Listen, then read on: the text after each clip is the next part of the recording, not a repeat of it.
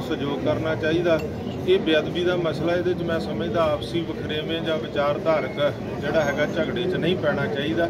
ਸਾਰੀਆਂ ਸੰਗਤਾਂ ਨੂੰ ਬੇਅਦਬੀ ਦੇ ਇਨਸਾਫ ਵਾਸਤੇ ਜਿਹੜੀ ਆ ਲੜਾਈ ਲੜਨੀ ਚਾਹੀਦੀ ਆ। ਹੁਣ ਦੋਸ਼ੀ ਜਿਹਦੀ ਪਹਿਲਾਂ ਕੋਈ ਛਤਰਪੋਲਾ ਕੀ- ਕਰਕੇ ਤੇ ਪੁਲਿਸ ਦੇ ਹਵਾਲੇ ਕਰ ਦਿੱਤਾ, ਹੁਣ ਉਹ ਪੁਲਿਸ ਪ੍ਰਸ਼ਾਸਨ ਦੇ ਕੋਲ ਆ, ਹੁਣ ਕਾਨੂੰਨੀ ਲੜਾਈ ਲੜ ਕੇ ਜਿਹੜਾ ਉਹਨੂੰ ਪੂਰੀ ਸਜ਼ਾ ਜਿਹੜੀ ਉਹ ਦਵਾਉਣੀ ਚਾਹੀਦੀ। ਕੇਂਦਰ ਦੇ ਕੋਲ ਜਾ ਕੇ ਇਸ ਗੱਲ ਦੇ ਉੱਤੇ ਦਬਾਅ ਬਣਾਉਣ ਦੇ ਲਈ ਕੀ ਕਰੋਗੇ ਵੀ ਜਿਹੜਾ 295 ਦੇ ਵਿੱਚ ਸ਼ੋਧ ਦੇਖੋ ਸਰਕਾਰਾਂ ਵੱਲੋਂ ਮਤੇ ਆਲਰੇਡੀ ਪਾ ਕੇ ਗਏ ਹੋਏ ਦੇਖੋ ਜਿਹੜੀ ਸਿੱਖ ਸੰਗਤਾਂ ਦੇ ਵੱਲੋਂ ਪਹਿਲਾਂ ਜਿਹੜਾ ਸੀ ਇਹ ਮਸਲਾ ਕੇਵਲ ਸ੍ਰੀ ਗੁਰੂ ਗ੍ਰੰਥ ਸਾਹਿਬ ਦੇ ਮਸਲੇ ਦੇ ਉੱਤੇ ਅਸੀਂ ਕੇਂਦਰ ਨੇ ਦਬਾ ਰੱਖਿਆ ਸੀ ਹੁਣ ਤਕਰੀਬਨ ਸਮੂਹ ਧਰਮ ਗ੍ਰੰਥਾਂ ਦੇ ਵਾਸਤੇ ਕਰ ਦਿੱਤੀ ਹੈ ਪ੍ਰੋਵੀਜ਼ਨ ਕਿ ਜਿਹੜਾ ਵੀ ਕਿਸੇ ਵੀ ਧਰਮ ਗ੍ਰੰਥ ਦੀ ਬੇਅਦਬੀ ਕਰਦਾ ਤਾਂ ਉਹਦੇ ਤੇ ਸਖਤ ਸਜ਼ਾ ਹੋਵੇ। ਪਰ ਮੈਂ ਸਮਝਦਾ ਕਿ ਧੰਨ ਗੁਰੂ ਗ੍ਰੰਥ ਸਾਹਿਬ ਜਿੰਦਾ ਜਾਗਤ ਗੁਰੂ ਆ।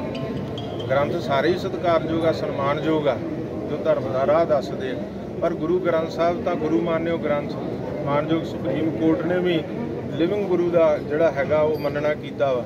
ਇਸ ਕਾਰ ਕਾਰਨ ਕਰਕੇ ਗੁਰੂ ਗ੍ਰੰਥ ਸਾਹਿਬ ਦੇ ਦੋਸ਼ੀ ਦੇ ਉੱਪਰ ਜਿਹੜੀ ਸਖਤ ਸਜ਼ਾ ਜਿਹੜੀ ਆ ਬੇਅਦਬੀ ਕਰਨ ਵਾਲੇ ਨੂੰ ਹੋਣੀ ਚਾਹੀਦੀ ਹੈ ਤੇ ਜਿਹੜੇ ਕੋਈ ਪ੍ਰੋਵੀਜ਼ਨ ਜਿਹੜੇ ਕੋਈ ਮਤੇ ਗਏ ਹੋਏ ਆ ਭਾਰਤ ਸਰਕਾਰ ਦੇ ਟੇਬਲ ਤੇ ਪਏ ਆ ਉਹਦੇ ਤੇ ਕਾਰਵਾਈ ਹੋ ਕੇ ਜਿਹੜੀ ਸਜ਼ਾ ਵਾ ਇਹਨਾਂ ਧਰਾਵਾਂ ਦੇ ਵਿੱਚ ਉਹਦਾ ਵਾਧਾ ਜ਼ਰੂਰ ਹੋਣਾ ਚਾਹੀਦਾ। ਆਪਾਂ ਅਕਸਰ ਅਜਿਹੀਆਂ ਘਟਨਾਵਾਂ ਤੋਂ ਬਾਅਦ ਕਹਿ ਦਿੱਤਾ ਜਾਂਦਾ ਵੀ ਉਹਦੀ ਦਿਮਾਗੀ ਹਾਲਤ ਠੀਕ ਨਹੀਂ ਜਾਂ ਮੰਦਬੁੱਧੀ ਅਜਿਹੀਆਂ ਅ, ਜਦੋਂ ਗੱਲਾਂ ਕਰਕੇ ਉਹ ਜਿਹੜੀਆਂ ਸਜ਼ਾਵਾਂ ਨੇ ਉਹ ਕਿਤੇ ਉਹ ਨਹੀਂ ਹੋ ਪਾਉਂਦੀਆਂ ਹੁੰਦੀਆਂ ਉਹ ਉਹਦੇ ਤੇ ਕਿੰਨਾ ਕੁ ਤੁਹਾਨੂੰ ਲੱਗਦਾ ਦ੍ਰਿੜਤਾ ਕਈ ਜਗ੍ਹਾ ਤੇ ਇਹੋ ਜਿਹੀਆਂ ਘਟਨਾਵਾਂ 'ਚ ਵਾਕਿਆ ਹੀ ਜਿਹੜੇ ਮੈਂਟਲੀ ਅਪਸੈਟ ਬੰਦੇ ਜਿਹੜੇ ਆ ਦਿਮਾਗੀ ਤਵਾਜਨ ਜਿਹੜੇ ਖੋ ਚੁੱਕੇ ਉਹਨਾਂ ਦਾ ਸਾਹਮਣਾ ਆਇਆ ਪਰ ਹਰ ਘਟਨਾ ਦੇ ਵਿੱਚ ਇਹੋ ਜਿਹੇ ਨਹੀਂ ਹੁੰਦੇ। ਇਹਦੇ ਪਿੱਛੇ ਜਿਹੜੀ ਸਾਜ਼ਿਸ਼ ਆ ਉਹ ਜ਼ਰੂਰ ਨੰਗਾ ਕਰਨੀ, ਹਰ ਬੇਅਦਬੀ ਦੀ ਘਟਨਾ ਨੂੰ ਮੈਂਟਲੀ ਆਪਸੈਟ ਜਾਂ ਦਿਮਾਗੀ ਸੰਤੁਲਨ ਠੀਕ ਨਹੀਂ, ਇਹ ਕਹਿ ਕੇ ਜਿਹੜਾ ਰੱਦ ਨਹੀਂ ਕਰਨਾ ਚਾਹੀਦਾ, ਪੁਲਿਸ ਪ੍ਰਸ਼ਾਸਨ ਸਰਕਾਰ ਦੀ ਜ਼ਿੰਮੇਵਾਰੀ ਬਣਦੀ ਹੈ ਕਿ ਉਹ ਇਹਦੀ ਪਿੱਛੇ ਸਜ਼ਾਵਾਂ ਪਿੱਛੇ, ਇਹ ਜਿਹੜੀਆਂ ਘਟਨਾਵਾਂ ਇਹਨਾਂ ਪਿੱਛੇ ਸਾਜ਼ਿਸ਼ ਕੀ ਉਹਨੂੰ ਨੰਗਾ ਕਰਨ? ਬਰਗਾੜੀ ਕਾਂਡ ਦੀ ਸਾਜ਼ਿਸ਼ ਨੂੰ ਨੰਗਾ ਨਹੀਂ ਕੀਤਾ ਗਿਆ ਤੇ ਉਹ ਸਰਕਾਰਾਂ ਦਾ ਕੀ ਅਸਰ ਹੋਇਆ, ਪਾਰਟੀਆਂ ਦਾ ਕੀ ਅਸਰ ਹੋਇਆ?